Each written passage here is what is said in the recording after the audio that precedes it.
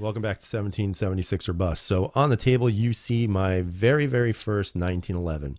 In this case, it is a Rock Island Armory 1911. Now, before I get into a really quick tabletop about the handgun itself, I do want to say this uh, before I go into this so that nobody has any kind of, uh, you know, anger issues afterwards. But this gun was sent to me by Rock Island Armory to kind of just do a quick test and evaluation on. They also, nicely enough, Armscor, which is their, I guess, their parent company, um, sent me out ammunition to shoot with it. So, I mean, that's pretty awesome, especially from an independent uh, gun channel like mine, who doesn't necessarily have a lot of supporters uh, in regards to markets.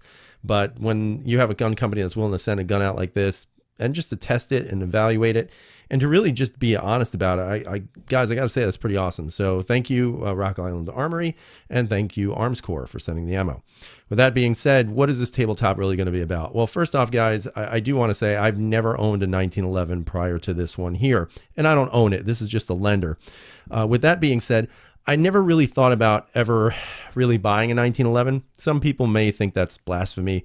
I personally just don't really like 1911s. Um, you know, I don't really find them to be uh, suitable for what I use my handguns for, and that is obviously for you know self-defense, also for carrying concealed, um, and also with training and all that other stuff. It's just for me an eight-round capacity. Now, some people may say, "But dude, you live in New York, you only have a 10-round capacity," and you're right, that's true. But for eight rounds of 45 uh, with a two, uh, almost a, almost a two and a half pound handgun, I, I don't really see the advantage of it. But I'm always open to trying different things with handguns. And in this case, when I contacted them, they agreed to send it to me so I could test and evaluate it. I was very happy. Now, the one you see on the table here or in my hand, this is actually their uh, their TAC Ultra model, and this is the 45 ACP. They have two of them in 45 and in 9 millimeter. I actually wanted to shoot a 45, so I asked them if they could send this one, and they agreed.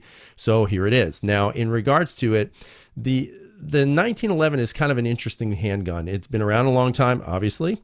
And uh, with that being said, there are some factors involved with this that make the gun, in my opinion, sort of antiquated. You know, the takedown is a bit of a bit of a pain in the butt. Uh, it's not overbearing. Um, it's not that difficult, but it's definitely different from, let's say, modern firearms, um, especially striker fired firearms.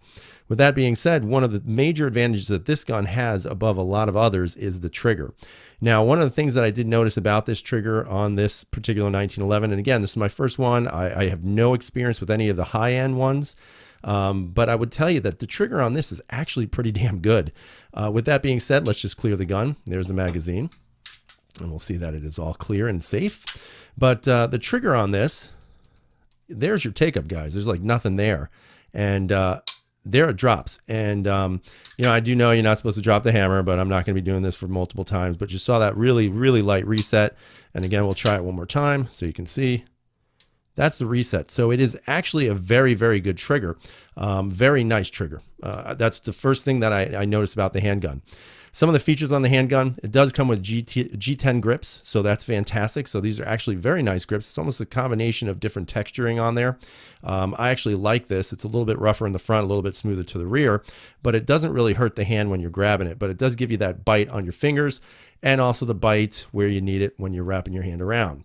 Also, you'll notice that it does have two safeties, actually one safety, but it is fully ambidextrous um, not ambidextrous, but ambidextrous. And what you'll notice is that um, you can actually use it. Let me, uh, you can use it if you're a right-handed shooter or left-handed shooter. And that's actually pretty cool. Uh, from what I've been reading, this is not necessarily a standard feature on a lot of um, 1911s. So for a cheaper 1911 to actually have that, I think it is pretty nice.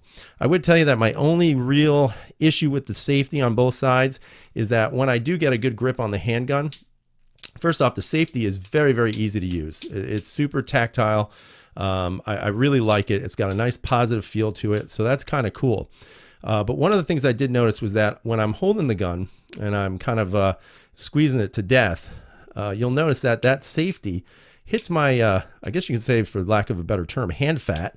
Uh, and it's a little uncomfortable. So I do have to lower the grip just slightly, and then I don't hit it. Um, but I would tell you that on the the uh, strong hand side with my thumb, uh, the safety has a very very nice lever on it. So it is actually very nice to actually be able to, let's say you pull and withdraw your from your holster, drop the safety down, your thumb has a very nice resting shelf right there. Um, so I do like that factor involved with it. Uh, maybe they could cut it down a little bit on this side, or maybe just have the option of either replacing this with a, a single safety as opposed to a double. But that's just something, you know, I noticed when I first handled the gun. With that being said, you'll also notice it does have adjustable rear sight here, which is kind of a cool feature, and they are steel sights. And it also has a nice red fi fiber optic pipe in the front. So you do get pretty good visibility right out of the box, and that's kind of nice. And again, for what I've been reading, these are not necessarily standard features on um, 1911s in the high end, and to have it on what you would consider quote unquote potentially a low end 1911. I think that's a pretty cool feature. So from that standpoint, for me, do I like the handgun? Sure. Haven't shot it yet. I'm going to be shooting it hopefully tomorrow. And uh, I'm going to come back and do a review on what my afterthoughts were about the 1911 platform. But as it stands right now, guys, this is actually a pretty nice looking 1911. It weighs about two pounds and I don't know, maybe like a quarter ounce or something like that. It's about two and a half pounds weight. So it is kind of a, a heavy handgun, but that's expected, especially from 1911. You have a Parkerized slide and a Parkerized finish throughout the entire handgun.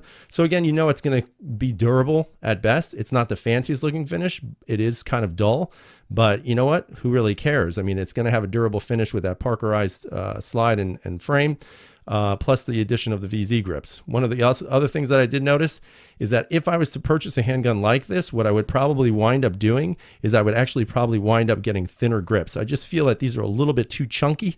Um, not to take anything away from the handgun because it is nice to have that feature right out of the box.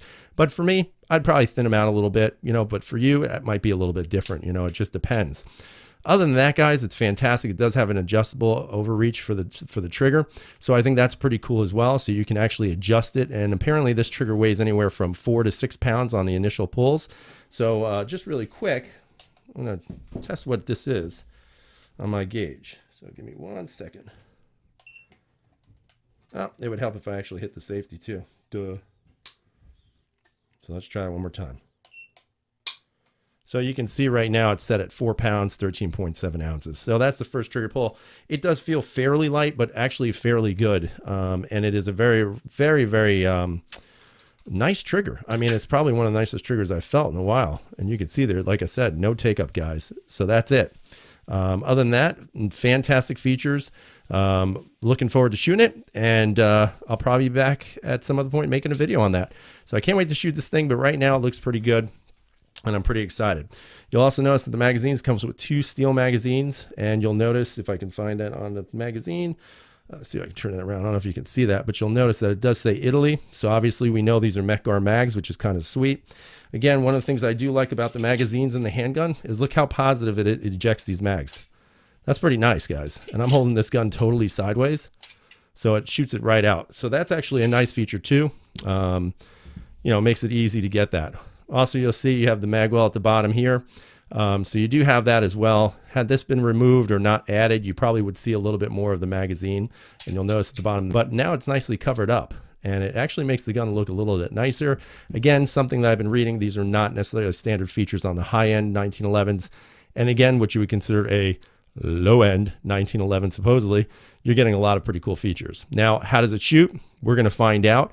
I can't wait to test it out, but this is kind of just the overall impression that I had when I first received it. Now, just to kind of compare it in size wise, interestingly enough, um, again, one of my favorite guns of all time, the P01. If you notice, they're almost identical in size, which is kind of nice. You know, so the 1911 that I have here is definitely a carryable gun, but you're definitely going to have to, you know, deal with the weight. You know, the P you're looking at basically almost a full pound heavier than that. So that's a pretty big difference.